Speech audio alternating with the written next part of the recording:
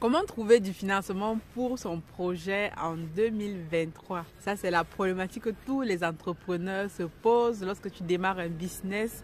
Même si tu commences sur fonds propres, à un moment donné, tu auras besoin d'aller chercher du financement, d'aller voir des euh, personnes qui vont t'aider à passer à un niveau supérieur. Dans cette vidéo, je vais te donner en fait euh, quatre techniques que j'ai recensées qui peuvent te permettre de chercher du financement. Mais retiens une chose, c'est qu'il va falloir que toi-même déjà tu prennes le risque d'investir dans ton propre projet.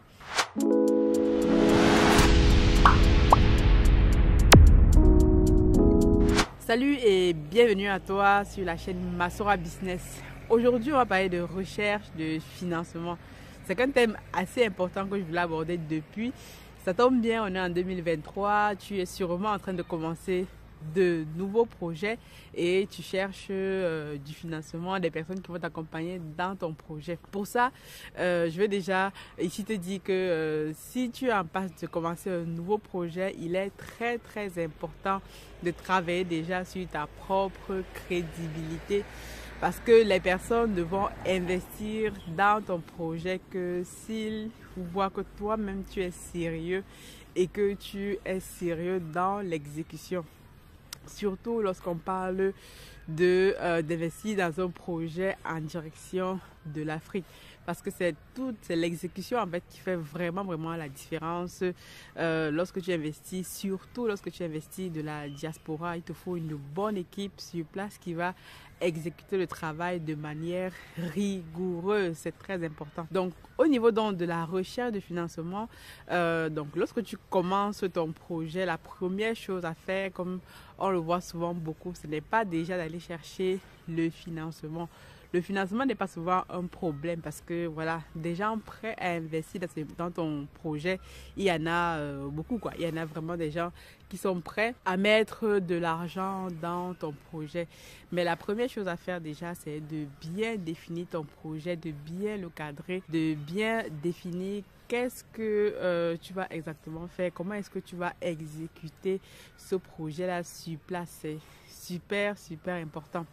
Parce que euh, voilà, tu peux avoir tout le financement pour donner tout le financement, mais si tu n'as pas une bonne équipe qui va exécuter le projet, euh, même si tu es sur place et tout, et qui va pouvoir euh, t'aider à atteindre ton objectif, ça ne va pas forcément bien se passer. Donc moi veux pour preuve lorsqu'on investit dans l'entreprise Africa Food Industry depuis à peu près deux ans et demi, trois ans même maintenant. on est en 2023 et ce qui fait la différence sur le terrain, c'est le fait d'être rigoureux dans la façon de procéder au quotidien, dans les différentes tâches, dans les procédures que tu vas mettre en œuvre. Donc vraiment, il faut déjà que ton entreprise soit bien, bien, bien cadrée avec des procédures euh, respectées par les membres de ton entreprise. Donc l'exécution, tout doit être carré, transparent. Vraiment, on doit, doit sentir la transparence. Et aussi, avant de commencer à chercher des financements, rassure-toi déjà que toi-même, tu as déjà pris un risque. Parce qu'il est souvent euh, malvenu d'aller voir, par exemple, des gens pour leur demander d'investir dans un projet alors que toi-même tu n'as pas encore euh, pris un risque, tu n'as pas investi ton propre argent et euh, bien sûr quoi.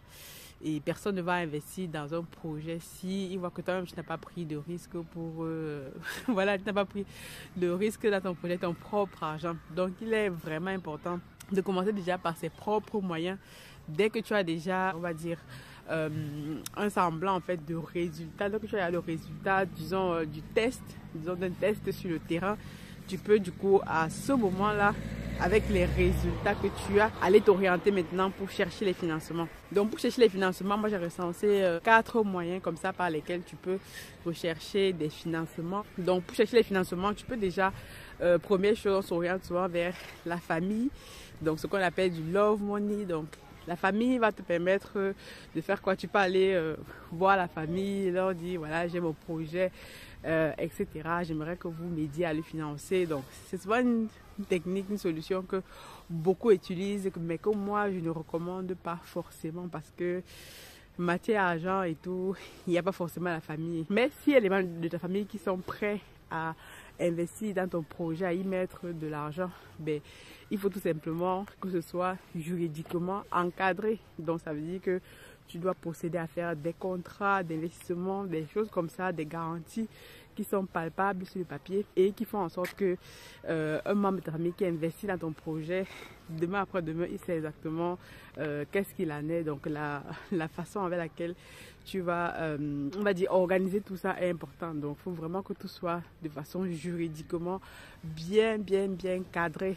Sinon, tu vas te retrouver avec des, des, problèmes en famille et tout, des, personnes qui vont te lever un matin te demander de l'argent euh, parce qu'ils ont investi dans ton projet et ce n'est pas forcément ce que tu veux. Donc, première solution, c'est du love money, les personnes qui te connaissent, les amis, etc., qui vont euh, financer ton projet, comme je dis, encore faut soit vraiment encadré de façon juridique pour éviter tout débordement et toutes mes ententes dans la famille. Deuxième solution, c'est d'aller voir des plateformes de financement. Aujourd'hui, il y a des plateformes de financement qui existent, qui financent des projets par exemple en direction de l'Afrique, euh, qui ont même parfois des incubateurs dans euh, ta ville, dans les grandes villes, et même voilà qui peuvent t'accompagner dans ton projet à mieux le structurer, etc. Donc euh, moi j'ai un de mes amis qui a mis en place comme ça une plateforme de financement en Kata Invest qui permet donc aux Africains de la diaspora d'investir dans un projet en direction de l'Afrique. Donc lui et son équipe se charge donc de regarder si le projet est viable, tout ça. Et donc il y a un suivi quotidien justement pour éviter qu'on se retrouve dans des, des situations où euh, l'investisseur, euh, ben, on va dire le promoteur du projet n'arrive pas à implémenter le projet ou alors est parti avec l'argent. Parfois ça peut arriver. Il y a ces solutions de plateforme d'investissement, mais voilà, il faut vraiment aussi se faire accompagner par rapport à ça. Il y en a aujourd'hui de la diaspora plusieurs plateformes d'investissement qui euh, t'aident justement à faire euh, ce type de travail-là. Troisième solution ici, donc, c'est donc de passer par euh, des crowdfunding, des crowdfunding un peu comme ce que nous on a fait pour le projet Africa Food, donc des levées de fonds, des choses comme ça. Et surtout, ça demande de communiquer énormément sur son projet, sur ce que tu veux faire, sur les résultats que tu as déjà obtenus sur le terrain avec tes propres investissements. Et donc en montrant ça de façon palpable et tout, euh, les personnes donc euh, verront donc que tu as déjà pris le risque et euh, seront peut-être à même de te faire confiance et y investir encore là dans tous ces euh, et tout, il faut toujours que ce soit encadré de façon juridique. Donc, euh, ton entreprise, si tu passes par une entreprise, une entreprise qui est bien formalisée de façon juridique, des statuts, des contrats d'investissement. Donc, les gens doivent savoir exactement où est-ce qu'ils mettent les pieds, qu'est-ce qui leur lie à toi, donc de façon euh, juridique. Donc, ce ne sont pas juste des paroles en l'air, les gens qui ont dit te financer et tout. Donc, ça doit être tracé minutieusement. C'est un petit peu ce que nous on fait aussi dans l'entreprise Africa Food pour les gens qui investissent dans le projet. Donc, euh, chaque personne a un contrat d'investissement euh, bien en du forme et qui leur lie avec l'entreprise. La dernière euh, solution ici, c'est d'aller voir les banques. Mais on sait très bien que nos banques au pays ne financent pas forcément les projets euh, de façon euh, naturelle, on va dire. Mais euh, il y a ce des banques. pour les banques, en fait, pour ceux qui investissent justement au pays, ce qui est intéressant, c'est d'ouvrir déjà un compte en banque dans une institution bancaire et déjà d'y commencer à verser ses premiers revenus. voilà. Et ce qui fait que lorsque tu auras besoin donc d'un accompagnement dans quelques années après que ton business ait commencé à tourner, ils verront déjà les multiples mouvements de ton compte en banque et là ça pourra peut-être, je dis bien peut-être, inciter une banque euh, à te financer. Mais ce n'est pas toujours gagné parce que euh, demande souvent des garanties assez colossales. Il faut euh, des titres fonciers, des choses comme ça. Donc moi, les banques aujourd'hui, cette option-là, en fait, pour l'instant, elle n'est pas à l'ordre du jour. Mais ce qui est quand même intéressant, c'est de te faire connaître par le système bancaire du pays où tu investis. Si on parle d'investissement au pays, et même si c'est en Occident, d'avoir un compte dans euh, la banque en question et de commencer déjà à voir les mouvements bancaires et tout. Et surtout de rester euh, dans le vert parce que si une banque voit que tu es dans le rouge, que tu as du mal à gérer ton propre argent et gérer l'argent de l'entreprise va être extrêmement délicat. Donc voilà euh, un petit peu les quatre points sur lesquels je voulais venir pour te dire un petit peu voilà où est-ce que tu peux aller chercher du financement, mais je le redis encore, les gens devront investir dans un projet que si toi-même tu as déjà pris le risque. Donc, commence déjà avec tes petits moyens et ensuite, donc, tu pourras aller euh, demander du financement à des tierces personnes. Donc, euh, tu me dis ce que tu penses justement. Est-ce que toi-même tu, euh, est-ce que tu vois d'autres moyens par lesquels tu peux rechercher du financement? Si oui, tu me les mets en commentaire. Je te dis donc à très bientôt. God bless.